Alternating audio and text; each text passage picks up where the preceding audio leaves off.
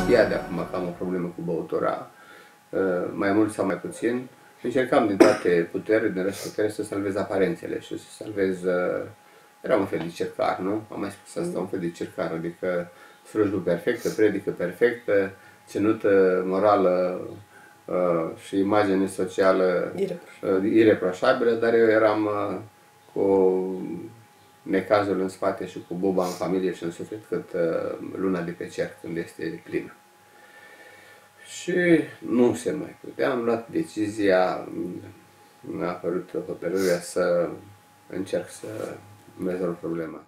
Ciroze, vătite toxice, depresii, insomnii, atacuri de panică, anxietăți. Astea tratează psihiatria. Și restabilește hemodinamic omul, așa încât după ce pleacă acasă, și așa am făcut și eu, în 2, 3, 4 zile, o săptămână, uh, am băut. Cu gândul că am să bea numai un pahar, neștiind că primul pahar este mult prea mult, următoarele 100 sunt mult prea puține, și a urmat iarăși, încă o repriză de o săptămână, două lună, pe urmă iar încercare de oprit o zi, două, trei, cinci, o săptămână cu sevrajul de rigoare.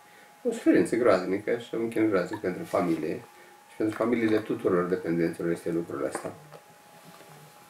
În așa fel încât uh, uh, abia în 2006, după vreo două, trei internări la psihiatrie, de bunăvoie, Mhm. fără rușine, fără frică, în psihiatrie Bacău, în psihiatrie la Socoră, la Iași, am fost de două ori.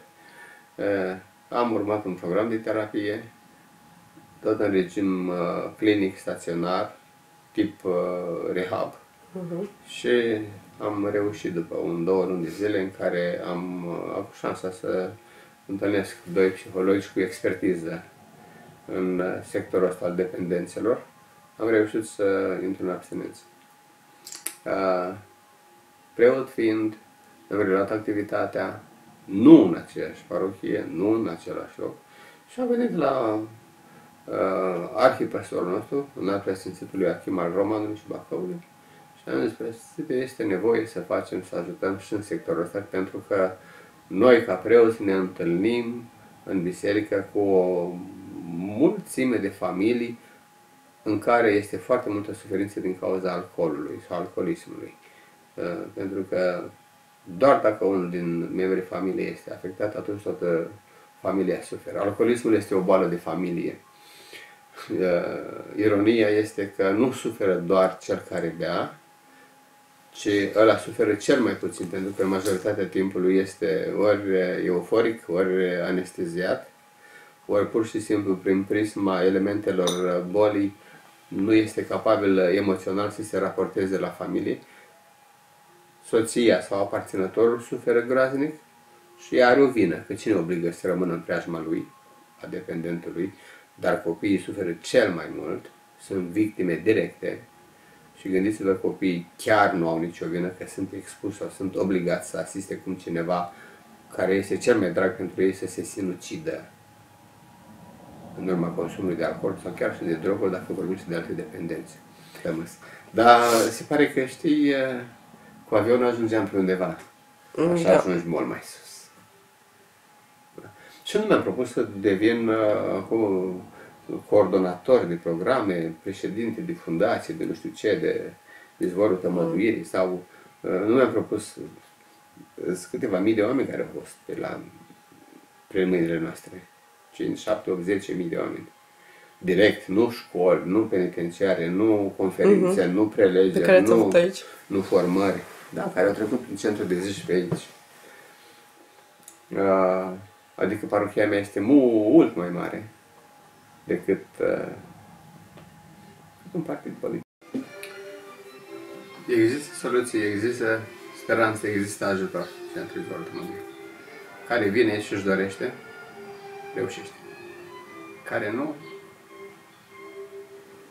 Dumnezeu.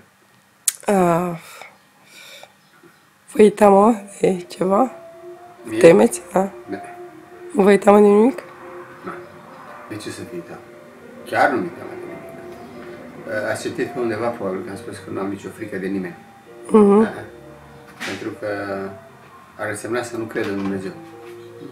Chiar nu mi se teamă rău. De aia am trecut și prin cancer. doctorul a zis că scoate jumate de mine sau că mor, specifici Dumnezeu și n-am avut probleme. Am și zburat nu știu în ce țări și am fost în spital, am zis, treci nu.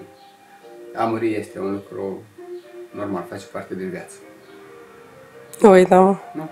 De ce? Um, În timpul alcoolismului meu, așa. puteam să mor de măcar 100 de ori. Am condus în ultimii 2-3 ani beat tot timpul. Nu cu 0,3. Beat. Da? Am uh, căzut, am, puteam avea și n-am murit. Bă, dacă n-am murit când eram bolnav, nebun, dement, cum vrei să spui unui om care este băut bine. Sau...